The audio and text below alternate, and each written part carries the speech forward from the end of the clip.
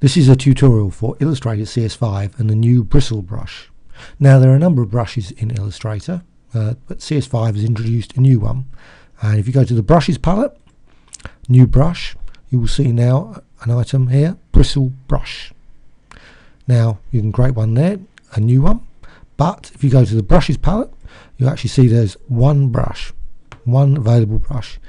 Um, so you can select that one you select that, you can just paint with the brush. So I'm just going to do. Now the brush color is actually stroke color there. So if I say select that to be green, and then just paint with that.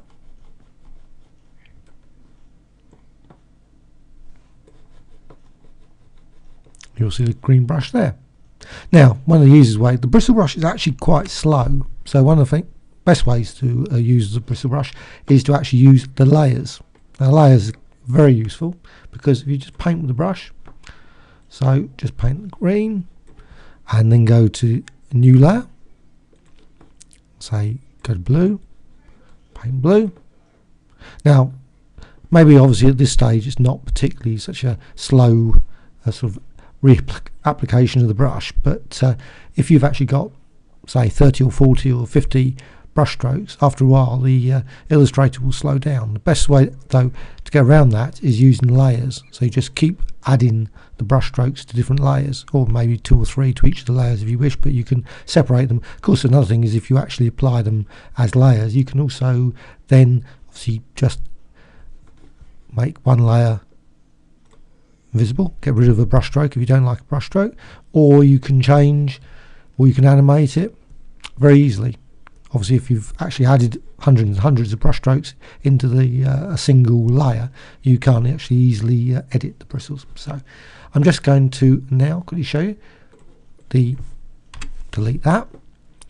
And I say unfortunately brushes here you've actually only just got one brush. So uh, not exactly a great start but if you click on that you actually will see the various options. So you double click on that and you will see the you can change the size bristle length bristle density.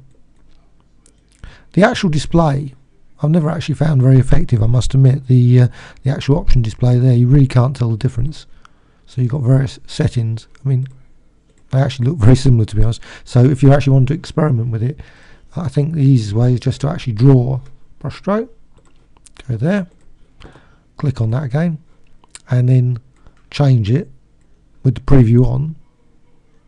So brush thickness bristle length. You can actually change it there. It's actually I think much more uh, observable than uh, seeing it via this little small little uh, display. Um, right and also you can see all the various other round point round blunt various brush shapes. Right. Click cancel that point. But you can if you actually want to explore the other brush libraries that come with Illustrator. You've actually got open brush libraries and they've added a bristle brush, brush library. So I'm just going to select that. Oh, that's a bit mouthful. Bristle brush library. Right. So you've got a selection here, so you can just select those, click on those. As soon as you do that, they're actually added to this uh, documents brushes library. So uh, you can, but basically all they are are just the settings. Now, I said the bristle, you can actually combine bristles. So I mean, you can just obviously apply multiple brush strokes to create maybe slightly more dynamic brushes. So you can just keep applying those, increasing the depth of the colour. Do that.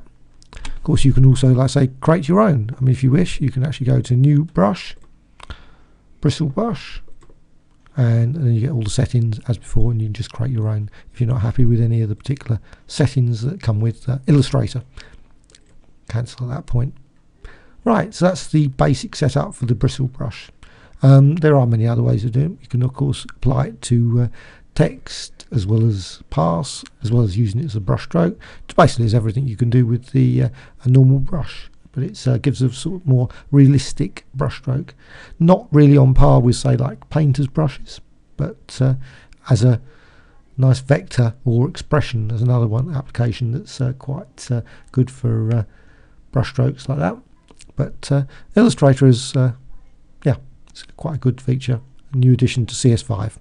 Not available in CS4 or CS3 and all those sort of versions, so you have to get CS5 if you want the uh, bristle brush.